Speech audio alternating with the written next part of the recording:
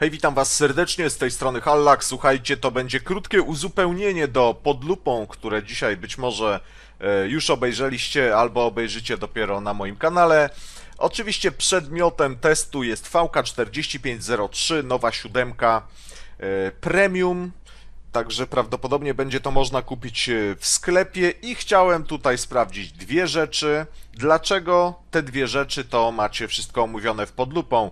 Pierwsza, y, którą chcę sprawdzić to mobilność tego czołgu w porównaniu do zwykłego Tygrysa 1. Y, Porównanie do Tigera P nie ma sensu, bo to jest pojazd troszeczkę, no ma inną charakterystykę jazdy, ale Tiger 1 jak najbardziej tutaj to jest e, celowe. Bardzo serdecznie dziękuję koledze, który e, wczoraj po prostu zgodził się tutaj ze mną testować po streamie. I teraz zobaczcie, jak wygląda mobilność.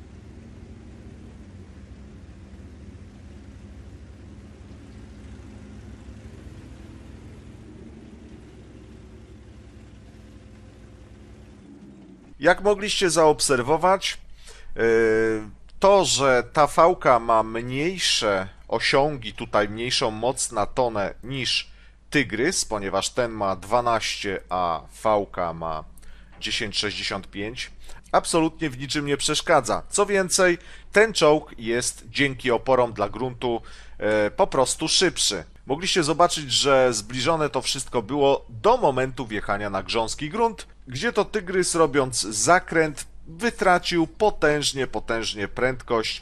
I jeżeli ktoś rozważa tutaj mobilności obu pojazdów, to moim zdaniem w najlepszym przypadku są porównywalne, a w wielu przypadkach ta fałka o dziwo będzie bardziej mobilna. Czy różnica jest jakaś wielka, astronomiczna? Absolutnie nie. Będzie to prawdopodobnie bardzo, bardzo mało odczuwalne w bitwach.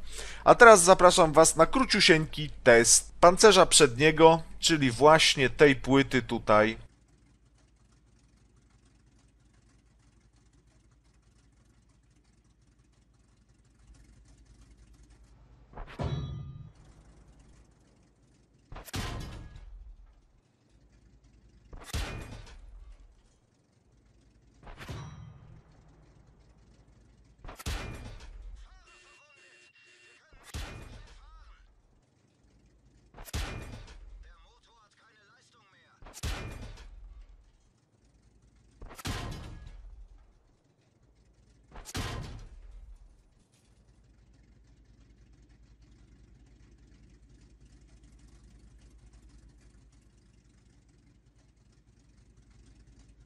Jak widzieliście, test był wykonany z odległości około 200 metrów.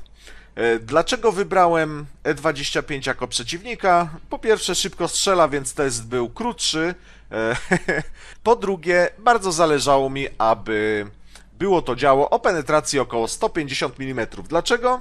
Dlatego, że praktycznie każdy czołg, z którym spotyka się ta fałka, będzie miał taką penetrację. Nieważne, czy będzie to poziom piąty, czy poziom szósty. Na piątce wiadomo, że na podstawowych pestkach ludzie nie mają 150 penetracji, ale po przerzuceniu na golda, a uwierzcie mi, robią to bardzo często i nie należy się dziwić, bo inaczej nie przebiją, po prostu ten pancerz zaczyna wpuszczać. E, Test na 200 metrach e, robiony możecie sobie przeskalować, to znaczy jeżeli robiony był, był na 400 metrach, wtedy 150 mm penetracji nie wystarcza i częściej, o wiele częściej są ding-dongi, natomiast e, E25 wtedy przerzuca po prostu na Golda i dziurawi nas absolutnie każdym e, pociskiem. Także walcząc na dystansie średnim, tym czołgiem jesteśmy dziurawieni praktycznie przez wszystkich. Co więcej, tego testu nie robiliśmy, ale wieża bardzo dużo wpuszcza w przeciwieństwie na przykład do Tigerka. No i to tyle. Dalszą część moich rozmyślań będziecie mieli pod lupą